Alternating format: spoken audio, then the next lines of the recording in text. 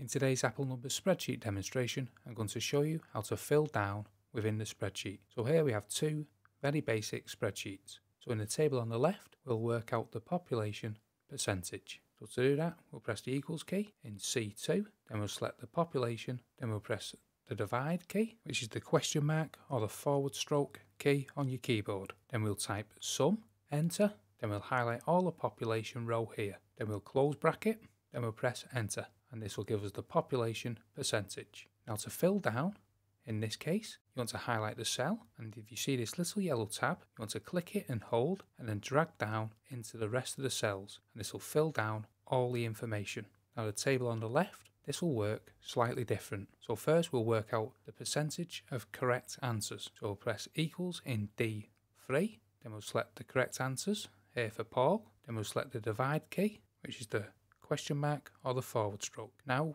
we'll select the number of questions what was given. Then we'll press enter or the little green tick. So this was 64%. However, let's make it look a bit more neater by changing the cell to a percentage and let's round the decimal places. Now on the world population, we press this little yellow tab and drag down. So let's do that again. And as you can see, we are left with an error.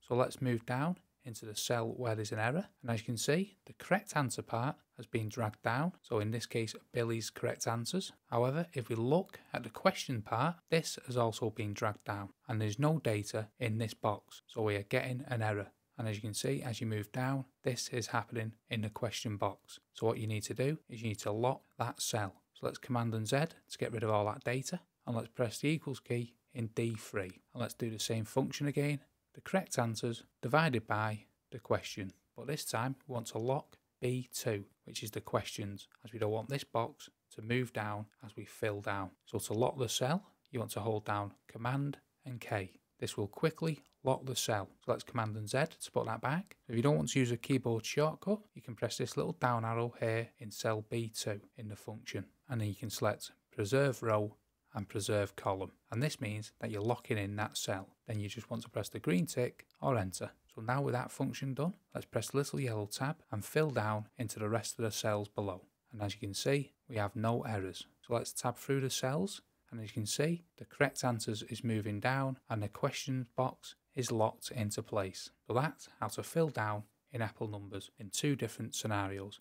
I hope you found that video helpful and if you did, check out this playlist here where we have many other Apple Numbers spreadsheet demonstrations and thank you for watching.